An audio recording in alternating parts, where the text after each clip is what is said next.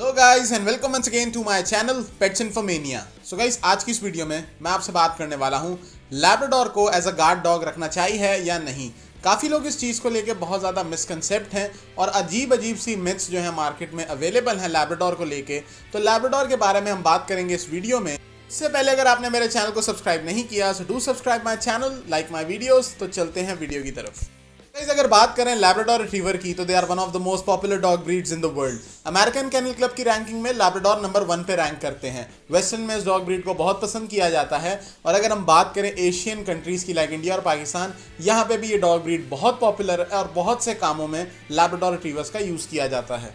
Basically इस dog breed को develop किया गया था for hunting purposes Labrador retriever working line के डॉग्स में आता है और इस डॉग ब्रीड को सबसे ज़्यादा यूज़ किया जाता था as a hunting dog history के अंदर. इस डॉग ब्रीड की बहुत सी क्वालिटीज़ हैं, जिसकी वजह से ये डॉग ब्रीड नंबर वन पर रैंक करती है in the American kennel club rankings और इस डॉग ब्रीड को इतनी ज़्यादा पॉपुलैरिटी क्यों मिली, उसके बहुत अलग अलग रीजंस हैं। लेब्राडोर रिट्रीवर एक ऐसी डॉग ब्रीड है, जिसको आप अपनी फैमिली में ईजिली रख सकते हो। अगर फैमिली में रखने की बात की जाए तो labradors are perfect family companions सबसे पहली चॉइस लोगों की लेब्राडोर होती है, अगर उनको अपने घर में अपने बच्चों के साथ कोई डॉग ब्रीड रखनी हो तो। अब बात करते हैं क्या लैब्राडॉर्स अच्छे गार्ड डॉग होते हैं? सो so, मैं आपको बता दूँ बहुत सी मिथ्स बनी हुई हैं कि लैब्राडॉर्स अच्छे गार्ड डॉग होते हैं लेकिन गाइस ऐसा बिल्कुल भी नहीं होता। लैब्राडॉर्स को अगर आप ट्रेन भी करना चाहो एज अ गार्ड डॉग भी उनको बनाना चाहो तो वो फिर भी उस तरीके की गार्डिंग नहीं कर सकते जैसे रॉट वायलर्स डॉबरमैन पिंचर या जर्मन शेपर्ड करते हैं। लैब्राडॉर्स अच्छे गार्ड डॉग नहीं होते। लैब्राडॉर्स सिर्फ़ अच्छे वॉच डॉग बन सकते हैं और वो भी कुछ लैब्राडॉर्स होते हैं जिनको शुरू से ओनर्स ऐसी ट्रेनिंग देते हैं कि अगर घर पे कोई गेट बजाए तो उसको देख के उसने भौंकना है और अपने ओनर को अलर्ट करना है। इससे ज़्यादा आप लैब्राडोर से कुछ एक्सपेक्ट नहीं कर सकते। अगर आप ये सोचते हो कि आपकी टेरिटरी को किसी चोर से या किसी भी दूसरे प्रेडिटर से प्रोटेक्ट करने के लिए आप लैब्राडोर को रख रहे हो, या किसी भी दूसरे जानवर को अपने एरिया में घुसने के लिए आप लैब्राडोर रख रहे हो तो आप बहुत बड़ी गलती कर रहे हो। लैब्राडोर्स बिल्कुल भी ऐसे डॉग नहीं होते।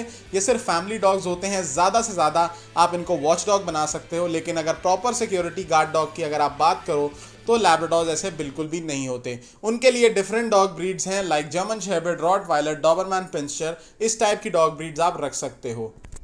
सो so गाइस काफ़ी लोग लैब्राडोर को देख के मिसकनसेप्ट हो जाते हैं, क्योंकि लैब्राडोर की अपेयरेंस ऐसी होती है कि लोग ऐसा समझते हैं कि ये अच्छे गार्ड डॉग भी हो सकते हैं, क्योंकि वो एक लार्ज साइज़ की डॉग ब्रीड है, जिसकी हाइट अच्छी होती है, जिसका वेट अच्छा होता है।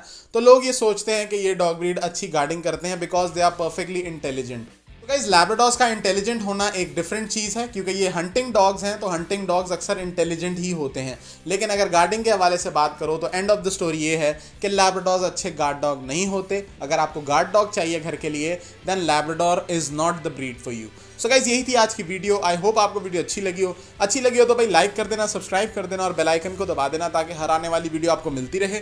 और कमेंट्स में ज़रूर बताइएगा if there is anything missing love you all